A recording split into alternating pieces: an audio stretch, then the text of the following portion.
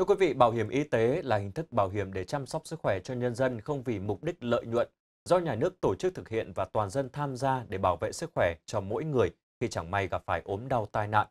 Nhằm đảm bảo an sinh xã hội, bảo hiểm y tế mang lại công bằng về chăm sóc sức khỏe cho mọi người, đặc biệt đó là người nghèo, người cận nghèo và đồng bào dân tộc sống ở vùng sâu, vùng xa.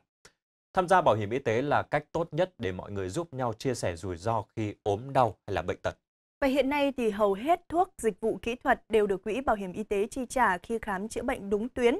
Thực hiện khám chữa bệnh bằng thẻ bảo hiểm y tế giúp người nghèo và cận nghèo bớt đi gánh nặng chi tiêu cho gia đình khi ốm đau. Trong câu chuyện buổi sáng ngày hôm nay, bằng những trường hợp cụ thể, chúng tôi sẽ phân tích cho quý vị hiểu hơn về vì sao nói bảo hiểm y tế là một hình thức để san sẻ gánh nặng tài chính cho người bệnh. Mắc bệnh biếu cổ cách đây vài năm, bà Lê Thị Tài đã được phẫu thuật ở tuyến trên. Nay bà về theo dõi tại địa phương.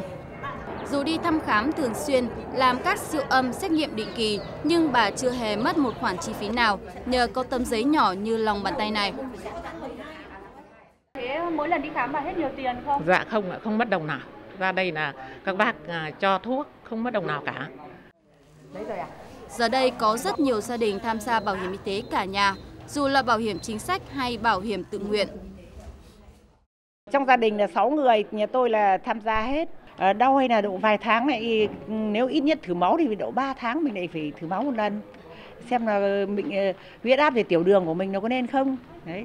Thì thường xuyên là cô cứ khám không mất tiền. Tuy nhiên ở nhiều địa phương, do không có các đại lý bán bảo hiểm y tế nên người dân không mấy thuận lợi mỗi khi mua thẻ.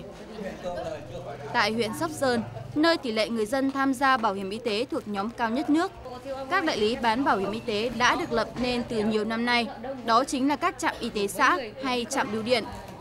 Năm 2010, cả huyện có 96.000 thẻ bảo hiểm y tế, thì đến năm 2018 đã tăng lên 200.000 thẻ. Trong ờ, mỗi một xã là có 3 đại lý. Thứ nhất là Ủy ban nhân dân và trạm y tế, cái thứ ba là bưu điện của thôn. Thì trung tâm y tế huyện Sóc Sơn thì cũng là một cái điểm mà ở tất cả các cái trạm y tế của chúng tôi là những cái điểm mà có thể à, bán bảo hiểm y tế à, giúp cho cái, cái, cái bảo hiểm y tế của thành phố.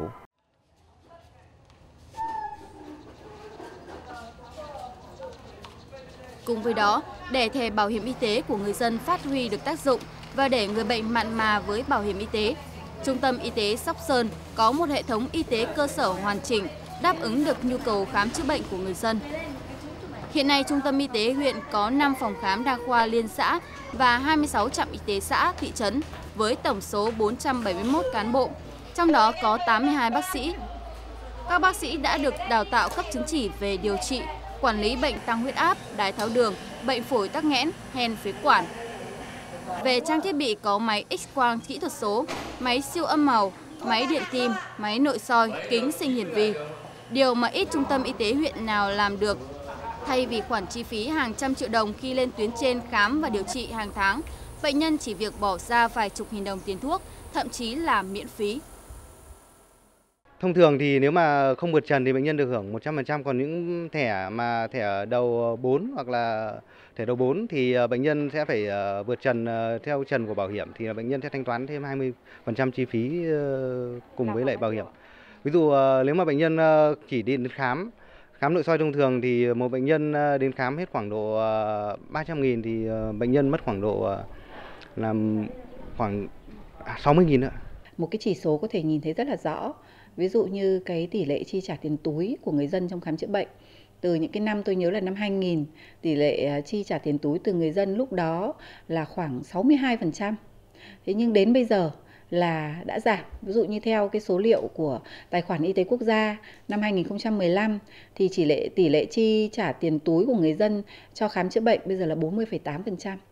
Như vậy là chắc chắn là có cái vai trò vâng chắc chắn là có vai trò của uh, cái chính sách bảo hiểm y tế ở đây. Cái điểm thứ hai nữa là cũng phải nhìn là với cái chính sách này nó rất là ưu việt, đặc biệt là đối với những người nghèo. Uh, người nghèo của chúng ta là khi mới đi khám chữa bệnh thì không phải thực hiện đồng chi trả và thứ hai, người cận nghèo thì chi trả, đồng chi trả có 5% thôi. Cho nên là chắc chắn đây là những cái đối tượng rất khó khăn. Thế nhưng mà khi có bảo hiểm y tế thì được tiếp cận và được ờ, hoàn toàn là được được bảo hiểm y tế chi trả cho khám chữa bệnh thanh toán bảo hiểm y tế của trạm y tế với cái dịch vụ cơ bản ở trạm y tế xã thì còn bị kiềm chế ở một cái mức thấp một số những dịch vụ thì chưa được đưa vào danh mục thanh toán bảo hiểm y tế những cái điểm đấy nó cũng gây một cái cản trở trong vấn đề cung ứng dịch vụ y tế có chất lượng đây là lần thứ hai đôi vợ chồng trẻ này phải đưa con đi mổ tim chồng làm thợ xây vợ làm nương rẫy hai đứa con mắc tim bẩm sinh khiến cuộc sống thiếu thốn mọi bề nếu không có bảo hiểm y tế chắc có lẽ cả hai đứa con của anh chị không thể được phẫu thuật kịp thời. Vì với hai ca mổ tim, anh chị phải chi trả gần 200 triệu đồng, nhưng nhờ có bảo hiểm y tế, chi phí rớt xuống còn khoảng 40 triệu đồng.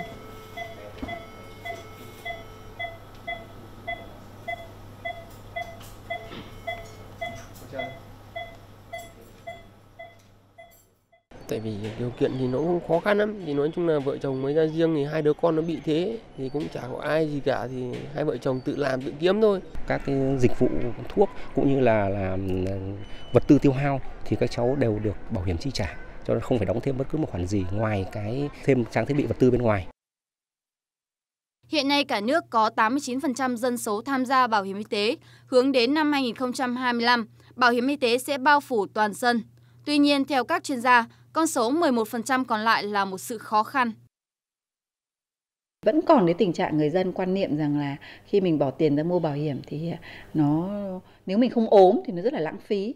Thì tôi nghĩ rằng là phải để cho người dân hiểu được là cái mua đó để có cái tính cộng đồng thế nhưng nó cũng là phòng đến lúc ốm đau để mà à, tránh những cái rủi ro về về về về về tài chính khi mà bị ốm thì tôi nghĩ rằng cái 11% đó thì trong thời gian tới thì nếu như mà à, mình tuyên truyền tốt thì à, sẽ có cái à, sự mở rộng nhanh trong thời gian tới. Bảo hiểm y tế là chính sách có ý nghĩa an sinh quan trọng nhằm đạt được sự công bằng trong chăm sóc sức khỏe nhân dân, đồng thời qua đó thể hiện tính nhân văn ở sự sẻ chia giữa người khỏe mạnh và người hay đau ốm, người giàu với người nghèo, người trong độ tuổi lao động với trẻ em và người cao tuổi. Vì những lợi ích thiết thực mang đậm chất nhân văn nên trong những năm qua, số người tham gia bảo hiểm y tế ngày càng tăng, năm sau luôn cao hơn năm trước.